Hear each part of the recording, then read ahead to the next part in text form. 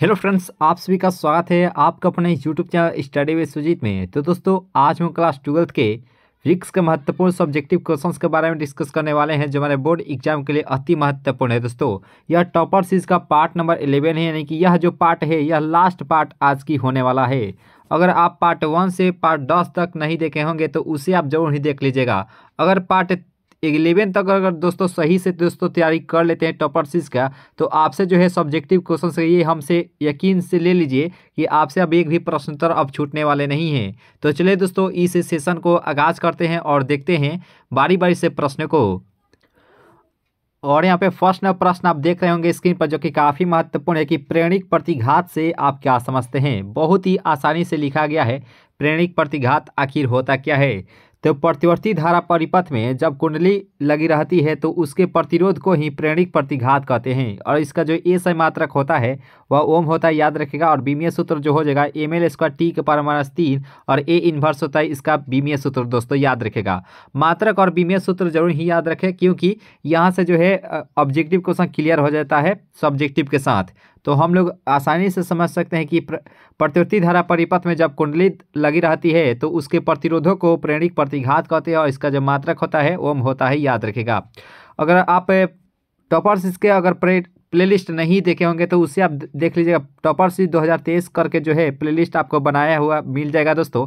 वहाँ से आप सभी जो वीडियो है आप देख लीजिएगा। आपसे जो है एक भी प्रश्न जो है, वह आप छूटने नहीं वाले ये हंड्रेड परसेंट दावा है दोस्तों, ठीक है? तो आप किसी तरह से उसी वीडियो को देख लीजिएगा दोस्तों। ये पार्ट नंबर एलेवेंथ है, यानी कि यह जो है लास्ट पार्ट आज टॉपर सीरीज़ का होने वाला है। तो आप बस सीधा से अंत तक ज़ोर देखने का प्रयास कीजिएगा। और यहाँ पे प्रश्न ये प्रकाश वर्ष क्या होता है? इसका जो पीडीएफ है, हम टेलीग्राम ग्रुप में ज्वाइन होते हैं तो इसका पीडीएफ जो है, हम भेज देंगे। वहाँ से आप लोग जो है, डाउनलोड करके प्रैक्टिस कर सकते हैं, ठीक है? तो प्रकाश वर्ष क्या है? तो एक वर्ष में प्रकाश के द्वारा तय की गई कुल दूरी को ही प्रकाश वर्ष कहते हैं और एक प्रकाश वर्ष बराबर हो जाएगा नौ दशमलव चार छः गुणे दस के बार पंद्रह मीटर। और दोस्तों, मीटर में रहेगा तो ये इतना रहेगा तो और किलोमीटर में ज्ञात करते हैं, एक हज़ार से भाग दे देते हैं तो नौ दशमलव चार छः गुणे दस के बार बारह किलोमीटर हो जाएगा, ठीक है? तो हम लोग आसानी से याद कर सकते हैं, एक वर्ष में प्रकाश के द्वारा तय की गई कुल दूरी को ही प्रकाश वर्ष कहते हैं, और एक प्रकाश वर्ष बराबर इतना होता है। प्रकाश वर्ष जो होता है, वह दूरी का सबसे बड़ा मात्रक होता है, याद रखेगा। और यहाँ प्रश्न की अवयस संरक्षण का सिद्धांत क्या होता है? तो अवेश को हम हम आसानी से याद कर सकते हैं कि हम जानते हैं कि आवेश को न तो उत्पन्न कर सकते हैं और ना ही इसे नष्ट कर सकते हैं, बल्कि इसे एक रूप से दूसरे रूप में व्यवस्थित कर सकते हैं। तो इस सिद्धांत को ही आवेश का संरक्षण सिद्धांत कहते हैं। इस प्रकार से लिख सकते हैं या जिस प्रकार से लिखा गया है, इस प्रकार से हम लोग समझ सकते हैं। आवेश को न तो उत्पन्न कर सकते हैं और ना ही इसे नष्ट कर सकते हैं। इस सिद्धांत को ही आवेश का सुरक्षा सिद्धांत कहते हैं। बहुत ही आसानी से ये सभी परिभाषाओं को लिखा गया है ताकि आपको याद हो जाए ए टू जेड और यहाँ पे प्रश्न था कि प्रकाश के विवर्तन से आप क्या समझते हैं? ये प्रश्न उत्तर देखते ही आपका आंसर भी आप लोग सोच रहे होंगे कि ये सबसे पहले हमको तो याद ही है तो हम दे रहे हैं, ठीक है? तो ये प्रश्न तो लगभग हर साल पूछ लिया जाता है कि प्रकाश के विवर्तन से आप क्या समझते हैं? तो जब प्रकाश किरण किसी तीक्ष्ण किनारों से होकर गुजरता है तो वह आंशिक रूप से मुड़ जाता है तो इस घटना को ही प्रकाश का विवर्तन कहते हैं। आपको एक बार में भी याद हो गया होगा दोस्तों, कि जब प्रकाश की किरण किसी तीक्ष्ण किनारों से होकर गुजरता है तो वह आंशिक रूप से मुड़ जाता है तो इस घटना को ही प्रकाश का विवर्तन कहते हैं। दोस्तों, अगर याद अगर हो रही हो तो लाइक ज़रूर कीजिएगा दोस्तों, और अगर चांस से अगर नए जुड़े हो तो ज़रूर सब्सक्राइब कर लीजिएगा। टॉपर सीरीज़ के प्रत्येक जो वीडियो है ऑब्जेक्टिव सब्जेक्ट देख लेते हैं तो आपसे जो है, एक भी प्रश्नोत्तर अब छूटने वाले नहीं है, ये हंड्रेड परसेंट कह सकते हैं। तो आप जो है टॉपर सी दो हज़ार तेईस करके जो है प्लेलिस्ट बना दिया गया है, उसके आप लोग जो है, संपूर्ण सब्जेक्ट का जो है, आप वीडियो देख सकते हैं आसानी से। चलिए नेक्स्ट प्रश्न कवर करते हैं। और यहाँ पे प्रश्न है कि जब अन्य सॉरी अन्योन्य प्रेरण से आप क्या समझते हैं? तो जब कुंडलियाँ पास पास होती है तो पहली कुंडली में धारा परिवर्तन के कारण दूसरी कुंडली में विद्युतवाहक बल उत्पन्न हो जाती है। तो इस घटना को ही अन्योन्य प्रेरण कहते हैं। अगर आप एक बार में याद करना चाहते हैं तो अभी ही याद कर ले सकते हैं कि जब कुंडलियाँ पास पास होती है तो पहली कुंडली में धारा परिवर्तन के कारण दूसरी कुंडली में विद्युतवाहक बल उत्पन्न हो जाती है। तो इस घटना को ही अन्य प्रेरण कहते हैं। मान लीजिए यहाँ पे दो कुंडलियाँ है। सॉरी इतना दूर तक नहीं। यहाँ पे मान लीजिए ये दो कुंडलियाँ है और दोनों जो कुंडली है, वह पास पास है।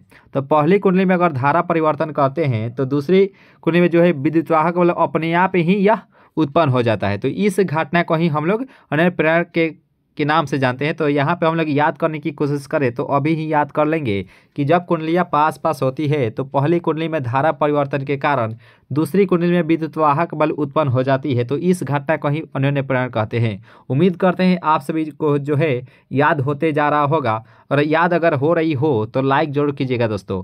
और यहाँ पे प्रश्न हम लोगों से पूछा जाता है कि सी धारता वाले संधारित्र को भी विभव तक आवेशित किया जाता है तो इसकी कुल सॉरी विद्युत ऊर्जा क्या होगी तो विद्युत ऊर्जा ई बराबर क्या होते थे? एक बटा टू सी भी स्क्वायर होते। एक बटा टू सी भी स्क्वायर होते है। तो हम लोग इतना ही, ये दो नंबर के लिए सभी प्रश्नोत्तर, ठीक है?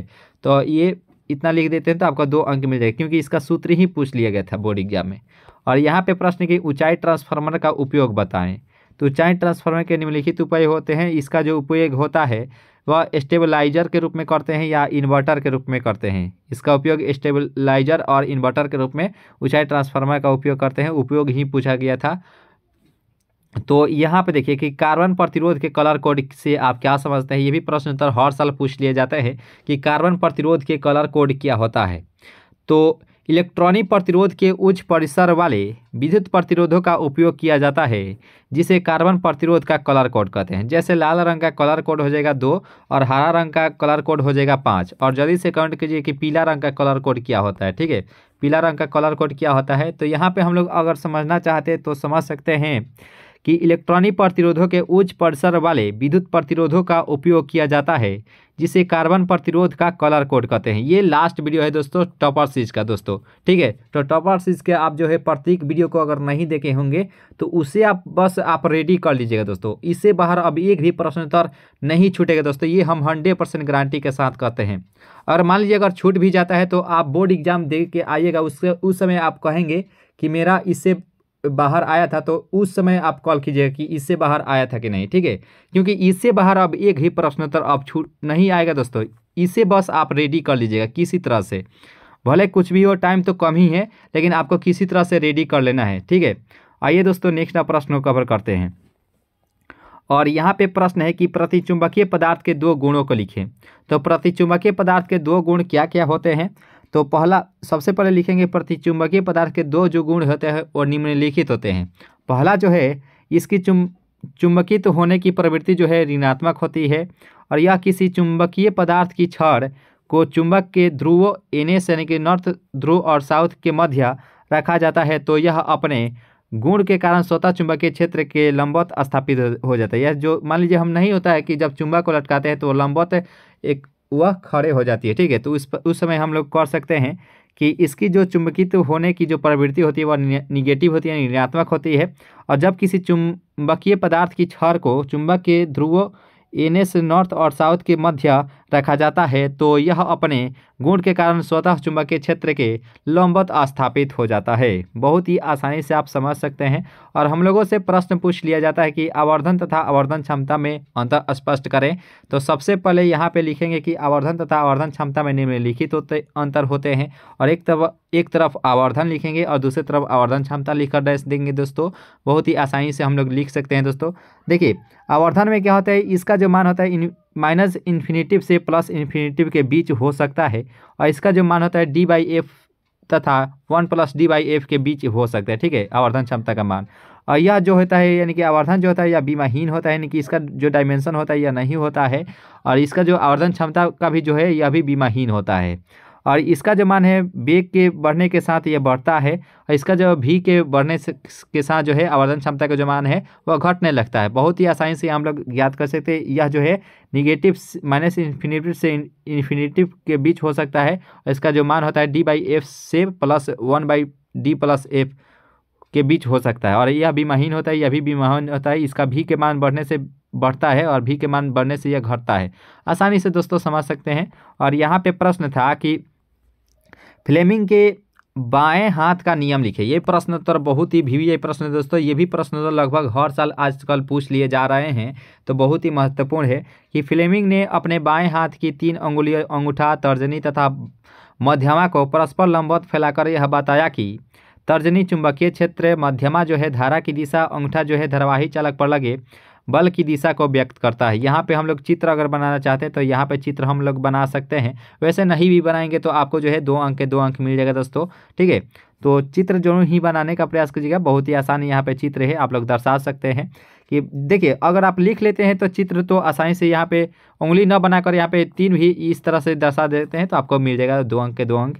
तो हम लोग आसानी से कह सकते हैं फ्लेमिंग ने अपने बाएँ हाथ की तीन उंगुलियों, अंगूठा, तर्जनी तथा मध्यमा को परस्पर लंबवत फैलाकर यह बताया कि तर्जनी जो है चुंबकीय क्षेत्र मध्यमा धारा की दिशा तथा अंगूठा जो होती है, वह धरवाही चालक पर लगे बल की दिशा को इंगित करता है। अगर आप टेलीग्राम ग्रुप से ज्वाइन नहीं हुए हैं तो आप ज़रूर ही ज्वाइन हो जाएगा दोस्तों। वहाँ पर जो है पीडीएफ इसका आपको मिल जाएगा, बिल्कुल नहीं फ्री में ही आपको दे दिया जाएगा, ठीक है? आप जो है प्रैक्टिस कर लीजिएगा।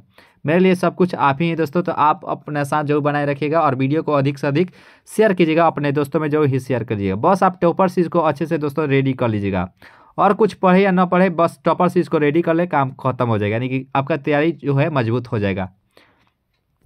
अर्धचालक क्या होता है? तो अर्ध चालक क्या होता है? तो वैसा पदार्थ जिसकी चालकता चालक एवं अचालकों के बीच होता है अर्धचालक कहलाता है। आसानी से समझ सकते हैं कि वैसा पदार्थ जिसकी चालकता चालक और अचालकों के बीच होता है और चालक कहलाता है। बहुत ही आसानी से समझ सकते हैं। और यहाँ पे पूछ लिया जाता है कि बोर के अस्थाई कक्षा से आप क्या समझते हैं? तो बोर के अस्थाई कक्षा से हम लोग यही समझते हैं। यहाँ पे जानेंगे कि इलेक्ट्रॉन बगैर विकिरण उत्सर्जित किए मात्र कुछ कक्षाओं में ही परिक्रमा कर सकते हैं। इन्हें बोर ने स्थिर कक्षाएँ कहा और ये कक्षाएँ केंद्रक से कुछ निश्चित दूरियों पर ही स्थित रहता है। तो यहाँ पे हम लोग याद करने की कोशिश करेंगे तो याद कर सकते हैं कि इलेक्ट्रॉन बगैर विकिरण उत्सर्जित किए मात्र कुछ कक्षाओं में परिक्रमा कर सकते हैं। इन्हें बोर ने स्थिर कक्षाएँ कहा और ये कक्षाएँ कुछ के, कक्षाएँ केंद्रक से कुछ दूरी पर ही निश्चित रहते हैं। और यहाँ प्रश्न है कि विद्युत चुंबकीय तरंग क्या है? ये तो हम लोग आसानी समझते, समझ सकते हैं कि जिन तरंगों के संचालन के लिए किसी माध्यम की आवश्यकता नहीं होती है तो विद्युत चुंबकीय तरंग कहलाता है। अगर याद करने की कोशिश करें तो अभी याद कर सकते हैं कि जिन तरंगों के संचालन के लिए किसी माध्यम की आवश्यकता नहीं होती है तो विद्युत चुंबकीय तरंग कहलाती है। और यहाँ पर प्रश्न है कि विद्युत क्षेत्र की तीव्रता से आप क्या समझते हैं? बहुत ही यह महत्वपूर्ण यह प्रश्न है कि विद्युत क्षेत्र की तीव्रता क्या होती है? तो आसानी से अगर याद करें तो अभी ही याद कर सकते हैं कि एकांक धन परीक्षण आवेश पर लगने वाले बल को ही विद्युत क्षेत्र की तीव्रता कहते हैं और इसे वेक्टर ई से सूचित करते हैं। तो आसानी से याद कर सकते हैं कि एकांक धन परीक्षण आवेश पर लगने वाले बल को ही विद्युत क्षेत्र की तीव्रता कहते हैं और इसे वेक्टर ई से सूचित करते हैं। वेक्टर ई बराबर होता है, vector A upon Q naught. ये ऑब्जेक्टिव के लिए याद रखें, वेक्टर ई बराबर हो जाएगा, vector F upon Q naught होता है विद्युत क्षेत्र की तीव्रता के लिए। और आइए दोस्तों नेक्स्ट प्रश्न को कवर करते हैं। और यहाँ पे प्रश्न हम लोगों से पूछ लिया जाता है कि क्रांति कोण अपवर्तनांक के बीच जो है यह संबंध स्थापित करें। तो ये ये प्रश्नोत्तर हम लोग पहले देख चुके थे, लेकिन इसमें हम लोग जो है प्रैक्टिस कर लेंगे, ठीक है? तो माना कि दो माध्यम, हवा तथा कांच है, जिसका अपर्तनांक क्रमशः म्यू तथा म्यू है। तो इस प्रकार, जिस प्रकार से चित्र बनाएँगे, उस प्रकार से आप लोग जो है बना लीजिएगा दोस्तों, ठीक है? और स्नेल के नियमानुसार जो म्यूनट अपन साइन आई और म्यू आई अपन साइन नब्बे डिग्री। तो क्योंकि यहाँ पे जो थीटा का मान दिया गया नाइन्टी डिग्री तो साइन नाइन्टी डिग्री का मान जो है होता है वो वन होता है तो म्यू वन में जब गुना करेंगे तो ये तो वन से गुना करेंगे तो इतना ही हो जाता है। तो म्यू टू साइन आई बराबर साइन सॉरी म्यू वन हो जाएगा और म्यू टू यहाँ पर हो जाएगा साइन आई जो है नीचे आ, आ जाएगा दोस्तों ठीक है? तो यहाँ पे mu two upon mu one हो जाएगा और one one upon sine I C यहाँ पर लिख सकते हैं या आई भी लिख सकते हैं ठीक है? इस प्रकार से जो है हम लोग सिद्ध कर चुके थे कर चुके हैं दोस्तों तो इस प्रकार से हम लोग को दो अंक मिल जाएगा। यहाँ पर हम लोग आसानी से समझ सकते हैं। और यहाँ पे प्रश्न हम लोगों से पूछ लिया जाता है कि पृथ्वी के चुंबकीय तत्वों से आप क्या समझते हैं? ये भी प्रश्न उत्तर आजकल पूछ लिए जा रहे हैं, ठीक है? चुंबकीय तत्व क्या होता है? तो आसानी से समझने का प्रयास करेंगे कि पृथ्वी के चुंबकीय तत्वों से आप क्या समझते हैं। तो किसी स्थान पर पृथ्वी के चुंबकीय क्षेत्र का परिणाम और दिशा का पूर्ण ज्ञान जिन राशियों से प्राप्त की, किया जाता है या होती है तो उसे उस स्थान पर पृथ्वी के चुंबकीय तत्व कहते हैं। और आसानी से अगर याद करने की कोशिश करें तो हम लोग याद कर सकते हैं तो किसी स्थान पर पृथ्वी के चुंबकीय क्षेत्र का परिणाम और दिशा का पूर्ण ज्ञान जिन राशियों से प्राप्त होता है तो उसे उस स्थान पर पृथ्वी के चुंबकीय क्षेत्र सॉरी चुंबकीय तत्व कहते हैं। टॉपर सीरीज़ के प्रत्येक वीडियो को देख लीजिएगा। टॉपर सीरीज़ 2023 करके जो है प्लेलिस्ट बना दिया गया है। उसके आप लोग जो है संपूर्ण सब्जेक्टिव ऑब्जेक्टिव देख लीजिएगा। वहाँ से जो क्वेश्चन है, आपसे एक भी प्रश्न उत्तर आप छूटने वाले नहीं है। बस आप उसको बस रेडी कर लीजिएगा। भले आप कुछ और पढ़े, ना पढ़े, बस उसे आप रेडी कर लीजिएगा। किसी तरह से दोस्तों, आपसे एक भी प्रश्न छूटने वाले नहीं है। इसका जो पीडीएफ है, हम टेलीग्राम ग्रुप से ज्वाइन होते हैं तो इसका पीडीएफ हम भेज देंगे। वहाँ से आप जो है डाउनलोड करके प्रैक्टिस कर सकते हैं कि, क्योंकि प्रैक्टिस मेक्स परफेक्ट। ठीक है? तो practice the key of success होता है तो प्रैक्टिस मेक्स परफेक्ट आप जो है प्रैक्टिस करते रहिएगा दोस्तों। और आप जो है वीडियो को शेयर अपने दोस्तों को अधिक से अधिक बताने का प्रयास कीजिए, क्योंकि मेरे लिए आप ही सब कुछ है दोस्तों। आप शेयर करते हैं तो ही इस चैनल ये बढ़ता है। नहीं तो हम जो है कुछ नहीं है। बस हम पढ़ाने की कोशिश करते हैं अच्छे तरीके से ताकि आपको अच्छा रिज़ल्ट दे पाएँ। दोस्तों, ठीक है? बस आप अच्छे से पढ़ने का प्रयास कीजिए। अपना साथ ज़रूर बनाए रखिएगा। हम आपके साथ हमेशा हैं तो आप जो है वीडियो को शेयर अधिक से अधिक कीजिएगा अपने दोस्तों में। और यहाँ पर लेंस का नियम क्या होता है? तो विद्युत चुंबकीय प्रेरण की सभी स्थितियों में विद्युत वाहक बल की दिशा इस प्रकार होती है कि यह उन्हीं कारणों का विरोध करती है जिन कारणों से यह उत्पन्न होती है, लेंस का नियम कहते हैं। मान लीजिए इसको अगर समझा जाए तो बहुत ही आसानी से समझ सकते हैं। मान लीजिए ये दोस्त, दो दोस्त है और एक दोस्त जो है आपको अगर मदद करता है और आप जो है इसी को ही विरोध करने लगते हैं कि क्यों हमारे मदद किए। जब आप बुरे समय में ये आपका मदद किया, बस आप सही अगर हो गए तो आप इन्हीं को ही विरोध करने लगे कि नहीं आप क्यों किए हम थोड़े ना कहने गए गए थे कि आप हम, हमारी मदद करें। तो ये तो हो गया बिल्कुल ही गलत बात। तो उसी प्रकार से लेंस का नियम वही ही कहता है कि विद्युत चुंबकीय प्रेरण की सभी स्थितियों में विद्युत वाहक बल की दिशा इस प्रकार होती है कि यह उन्हीं कारणों का विरोध करती है जिन कारणों से यह उत्पन्न होती है। लेंस का नियम कहलाते हैं। तो उम्मीद करते हैं ये ये प्रश्नोत्तर आपको सही से समझ में आ गया होगा और आप जो है अच्छे से याद भी कर लिए होंगे। अगर दोस्तों, अगर याद अगर हो गई हो तो एक लाइक ज़रूर कीजिएगा दोस्तों। मन अगर आप तो खुद ही समझदार हैं कि लाइक करना है या या नहीं करना है। अगर दोस्तों, अगर अच्छी लगी हो तो लाइक ज़रूर कीजिएगा दोस्तों। लास्ट में कमेंट कीजिएगा कि ये सेशन आपको कैसा लगा दोस्तों। इसका जो पीडीएफ है, हम टेलीग्राम ग्रुप में ज्वाइन होते हैं तो हम भेज देंगे, वहाँ से आप जो है पीडीएफ डाउनलोड कर सकेंगे। टेलीग्राम ग्रुप से ज़रूर ज़रूर ही ज्वाइन हो जाए, हो जाएगा दोस्तों, क्योंकि यहाँ पर जो है आपको पीडीएफ मिल जाएगा। तो उम्मीद करते हैं ये सेशन आपको अच्छी लगी होगी लगी होगी तो लाइक ज़रूर कीजिएगा दोस्तों और चैनल पर नए जुड़े हो तो ज़रूर सब्सक्राइब कर। लीजिए लास्ट में ज़रूर कमेंट कीजिए कि ये सेशन आपको कैसे लगा। तो जय हिंद।